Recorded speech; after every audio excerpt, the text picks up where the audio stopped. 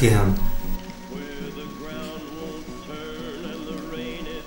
Ein Dutzend Mal habe ich bereits versucht, Sie zu erreichen.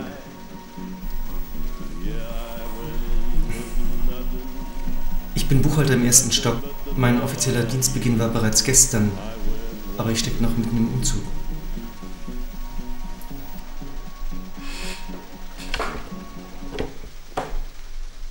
Ist das unsere Schuld?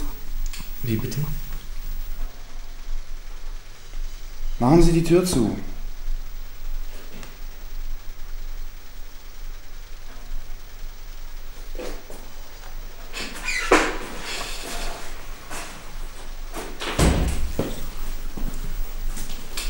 In meinem Büro fand ich weder Stühle noch ein ordentliches Regal.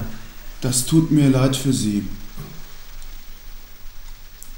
Da sich die Sache leider nicht durch Ihr großes Mitgefühl beheben lässt, wäre ich schon zufrieden, wenn Sie mir sagen, wo ich den Hauswart finden kann. Hier. Dann sagen Sie mir bitte, wo meine Sachen bleiben. Das geht uns nichts an. Wir bringen sie lediglich zu ihm, wenn es uns aufgetragen wird. Und wer bestimmt das? Der Hauswart natürlich. Ich dachte, das wäre einer von, von Ihnen. Wir sind seine Gehilfen.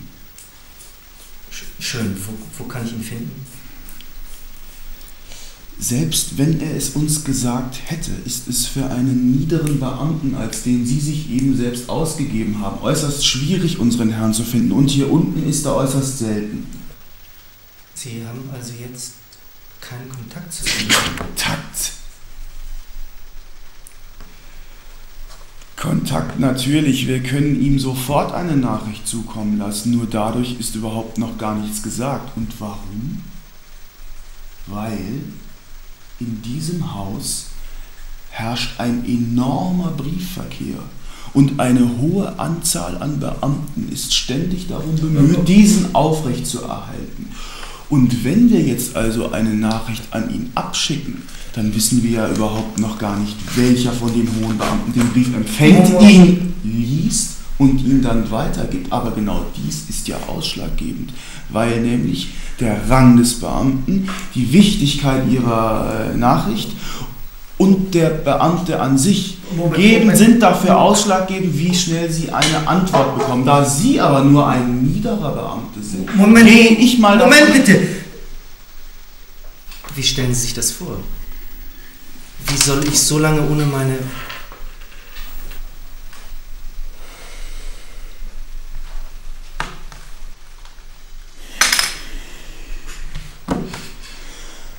Gut, äh, wir haben noch das Schreiben. Hä?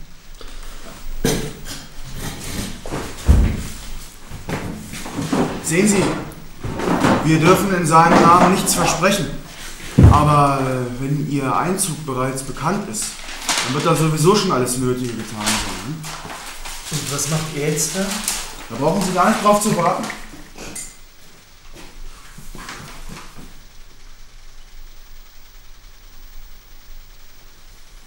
Sie können jetzt gehen.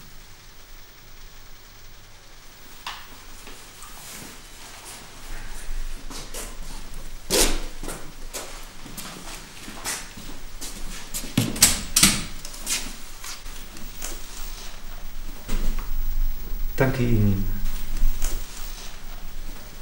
Auf Wiedersehen.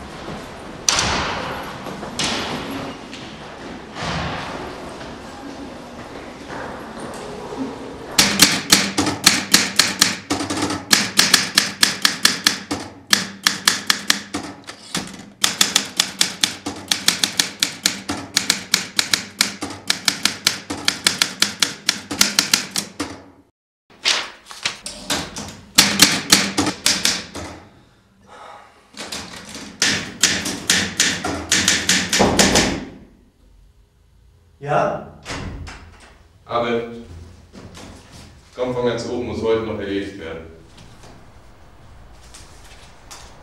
Das kann ich ja kaum entziffern.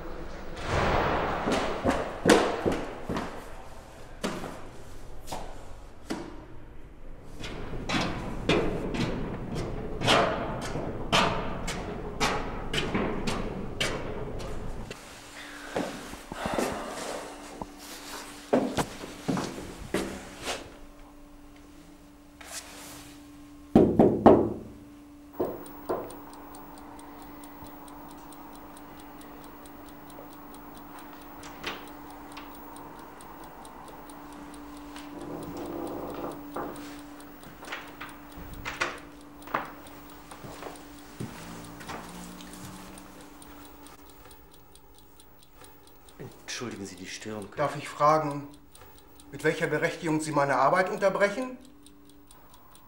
Ich habe den Boten gesucht. Er hat mir irrtümlich eine dringende Terminsache aufgetragen. Und? Ich habe ihn nicht mehr einholen können und jetzt eine Sache am Hals, die ich unmöglich noch heute oder überhaupt auszuführen imstande bin. Würde ich alle Aufgaben, die mich täglich erreichen, mit solch einem Zweifel empfangen, glauben Sie, ich könnte nichts anderes tun, als dem Boten hinterherrennen? Ich scheue mich nicht vor schwerer Arbeit, aber in dem Fall hier, Falsche Zustellung? ja. Und da entschließen Sie sich kurzerhand, Ihren nächsten Vorgesetzten die Türe einzurennen. Nein, nein. Wenn es nicht gerade heute gewesen wäre, ich hätte sie bestimmt geschont. Sagen Sie mir bitte nur, an wen ich mich wenden soll. Das halte ich nicht für die entscheidende Frage. Sondern? Ob Sie bereit sind, es herauszufinden. Ja, selbstverständlich, sonst wäre ich ja nicht hier. Ach, ich fürchte, Sie drehen sich im Kreis. Wenn Sie mich nicht noch angetroffen hätten. Es gibt einen Abteilungsleiter. Ach, Sie kennen sich schon? Den Namen von einem Schreiben. Vergessen Sie beides. Ja, Sie wollen der Angelegenheit auf den Grund gehen?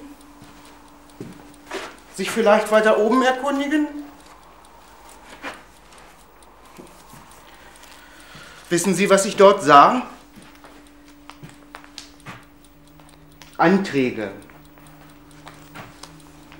Akten, Ablehnungen, Gebirge von Papier.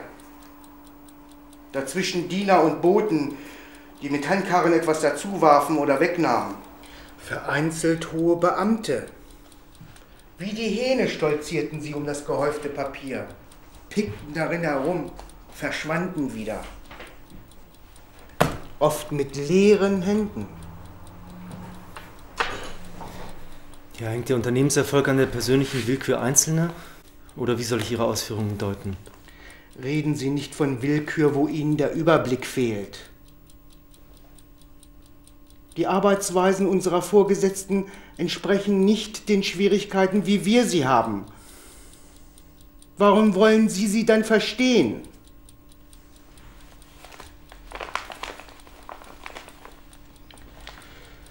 Wissen Sie, es würde Ihnen mehr nützen, nach einem eigenen Erfolgsrezept Ausschau zu halten.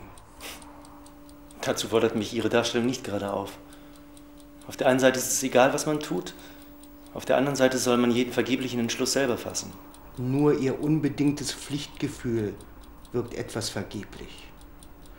Die ganze Zeit versuchen Sie, sich der Gunst fremder Absichten zu versichern, anstatt nach den eigenen zu handeln. Hm. Kommen Sie, ich zeige Ihnen etwas. Kommen Sie. Kommen Sie.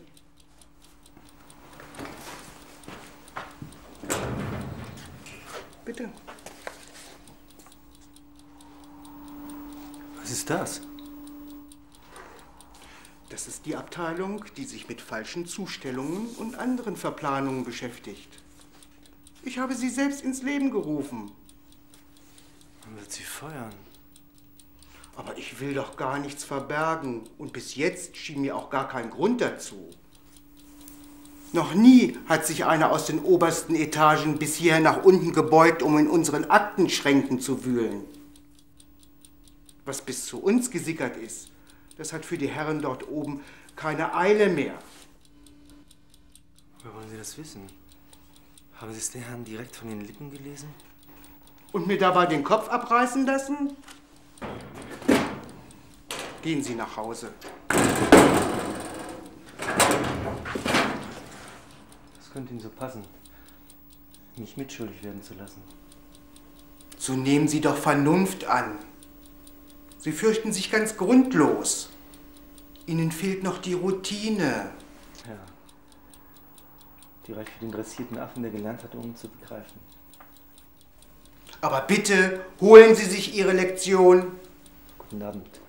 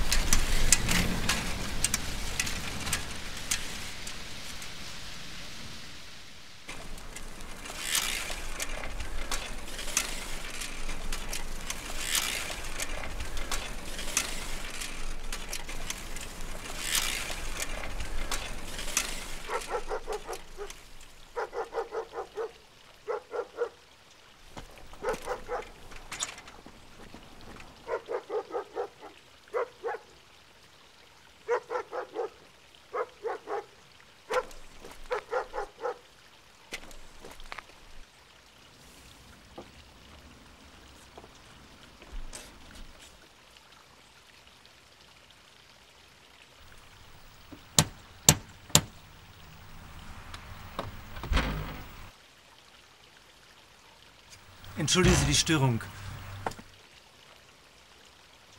Ich glaube, ich habe mich verirrt. Ich, ich suche den Weg nach. Was willst du?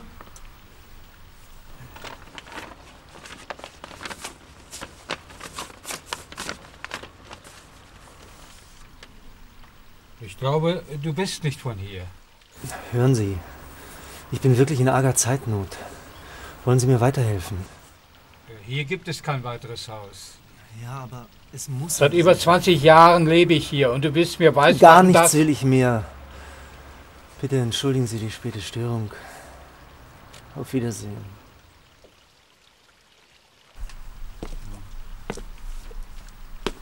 Halt, wo willst du hin?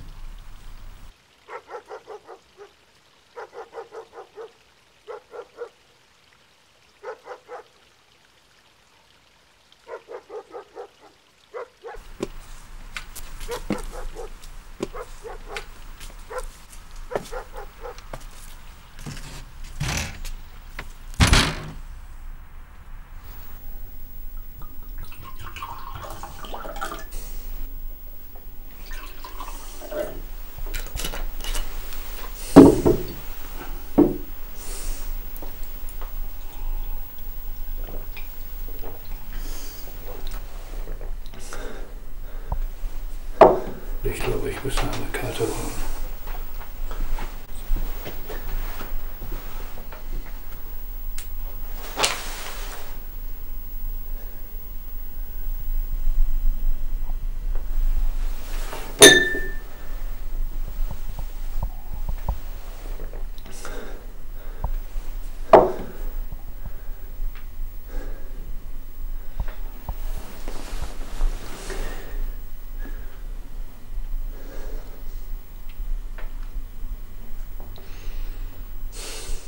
Sie kennen dieses Siegel?